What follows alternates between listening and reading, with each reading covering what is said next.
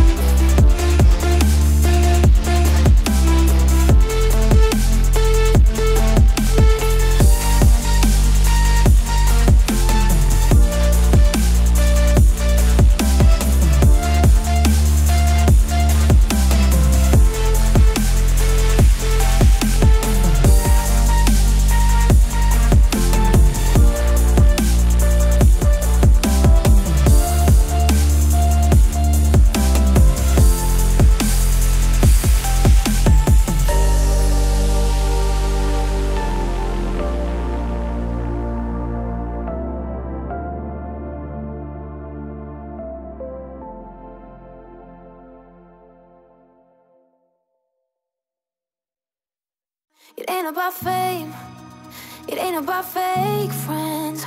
And screw your ex, is such a flake. Forget your grades, you need a break. You, it's all about you.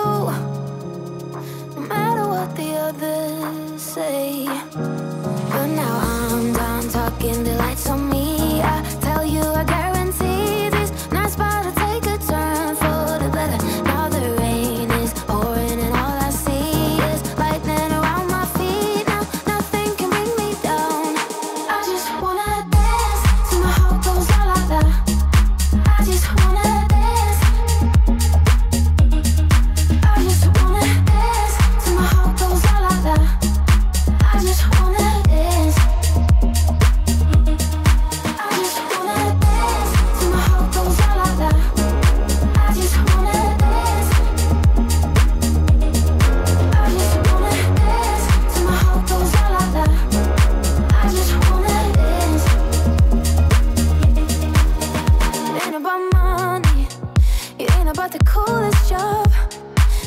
about how